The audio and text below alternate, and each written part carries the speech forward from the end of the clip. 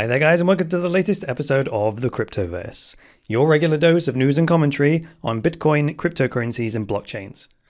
My name's Chris Coney, I'm the host of Cryptoverse and the founder of Cryptoversity.com, the online school where you set the price to learn about Bitcoin, cryptocurrencies, and blockchains.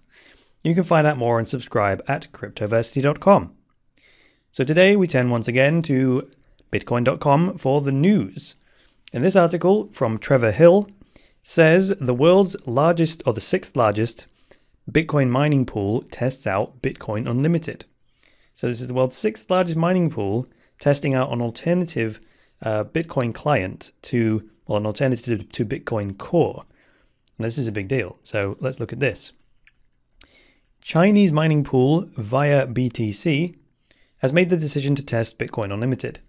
This is a significant move on the part of the pool's managers as it could have implications for the Bitcoin block size debate going forward.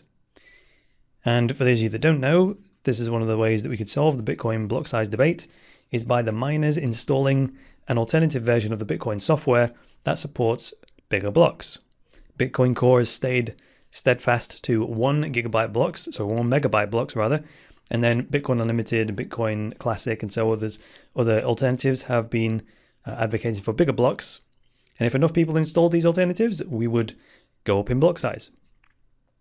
So ViaBTC says we are supporting big blocks. ViaBTC also happens to be the sixth largest mining pool in the world, making the decision even more impactful. The mining pool is fairly new, having apparently been founded only within the last two months. Despite its youth, ViaBTC has rapidly grown to obtain its position as one of the biggest Bitcoin mining pools in the world, it seems that most of its growth has come from within the last few months.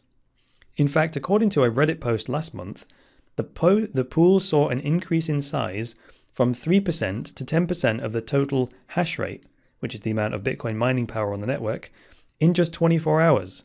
So in 24 hours, they went from accounting for 3% of the total processing power to 10%. In a 24 hour period, that's pretty significant. So at press time, the pool has a maximum hash rate of 120 petahashes per second. So ViaBTC is in favor of big blocks as well, having publicly come out in support of increasing Bitcoin's maximum block size on Twitter. However, while the mining pool has offered their support to bigger blocks, they are still running and primarily mining on the Bitcoin Core client. So that's an important distinction. They're not officially running um, Bitcoin Unlimited, they are just testing out to um, uh, on the Bitcoin testnet, I assume, or running it on their hardware. But we're not privy to the details of how they are testing it. But the vast majority of their real hash power is being pointed towards Bitcoin Core. So good times ahead for Bitcoin Unlimited. This move by the mining pool shouldn't be misconstrued as voting for any client other than Core, however. Nonetheless, the ViaBTC's trial run of Bitcoin Unlimited and support for bigger blocks seems to be good news for the alternative client. Oh, yes. This development follows more good news as Bitcoin Unlimited recently received a $500,000 donation. The donation led the project's team to formally register as a non profit organization. Now, to my mind, that's a good move. The question of what Bitcoin's block size should be has been one of the most polarizing areas of debate within the community. While the community has historically kept it safe and stayed with the 1 megabyte limit, the consensus has been threatened in recent months as more people come out in favor of larger blocks. The debate over Bitcoin's block size has become increasingly heated since 2014, with many seeing its resolution as an essential to Bitcoin's survival. Uh, survival? Maybe. Growth, definitely. Survival, maybe.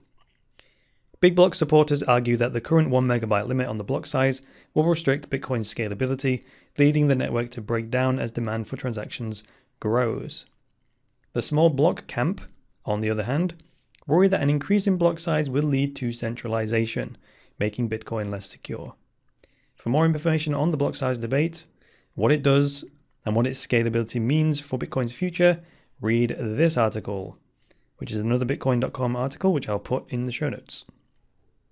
So, ViaBTC's decision to test Bitcoin Unlimited as a possible scalability solution marks another addition to the growing list of influential forces in the Bitcoin community supporting big blocks.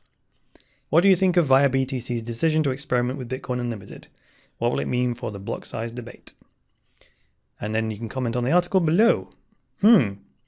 Well, what do I think? Check this out. It occurred to me this morning when thinking about this Bitcoin block size debate. And what how it's often spoken about is okay, Bitcoin Core supports one megabyte blocks. And then the alternatives are saying things like should we move to two, sorry, one megabyte blocks? Should we move to two megabyte blocks, or maybe three, four megabyte blocks, or eight megabyte blocks? Now, the assumption there is that we have to increase in increments of megabytes. And that's an assumption that I made up until this morning when I was like, hang on a minute, why are we thinking in one in one megabyte jumps? That's stupid, right? Unless I'm completely technically inept, I believe that you could do it gradually. So why don't we increase the block size limit to say 1.1 megabytes, right? And that would be a tiny in- improvement. It would increase capacity on the network. Capacity we don't strictly need on a day-to-day basis. We only need the extra block size, you know, when we have a particular busy day on the Bitcoin network. But let's say we increase it to 1.1 megabytes. That would then allow, um, is let's say that's the wrong decision and bigger blocks cause problems. Well, they'd only cause a small problem, and we'd be able to see it and nip it in the bud, wouldn't we? Because we've only increased the block size by 100 kilobytes. So then you'd be able to see gradually any problems emerging without it becoming catastrophic. A jump from 1 megabyte to 8 megabyte blocks or 1 megabyte to 2 megabytes, of course, it's a big risk because you are doubling the block size. So why why take such a big jump? Why not scale it slowly? Why not change it to 1.1 megabyte blocks, right? So if you're a scientist, you do experiments and you make decisions based on real world data. The trouble is, um, we've never actually tried it. So rather than saying having to make a decision between option A, staying with one megabyte blocks, and option B, going to two megabyte blocks, well, why not use you know principle? I think it's the fourth principle from the from the seven habits. Think win-win, right? Why not find a middle ground? You don't have to go this way or that way. Just increase it a little bit and then see what happens, right? If it works, then we can increase it by another 100 kilobytes to 1.2 megabytes and then another, right?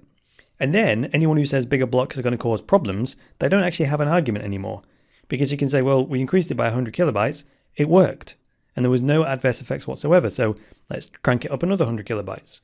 And that would end the debate, right? A debate can only continue if you have a lack of data. So why not get some data? Now, I think that I don't know if anyone's ever come up with that before, but it was just an assumption that I was making that we had to jump from one megabyte to two megabytes, and then I realized that's absolutely that's absolute rubbish. We don't have to do that at all. We could just do it slowly, test it out on a small scale, and then if there was a problem, could just scale it back. So that's my insight for the day. And that's the end of the Cryptoverse for today with me, Chris Coney. Thank you very much for listening. Please go to cryptoversity.com, subscribe to the Cryptoverse podcast on whatever your favorite platform is. Please send us a Bitcoin tip if you enjoyed this episode. And please click through to Steemit and vote for this episode on the Steam network. If you would like to learn some more structured information on Bitcoin, cryptocurrencies, and blockchains, check out the courses section on cryptoversity.com. That's all for today, guys. So I will see you tomorrow for the next episode of Cryptoverse. Until then, it's me, Chris Coney, saying bye for now.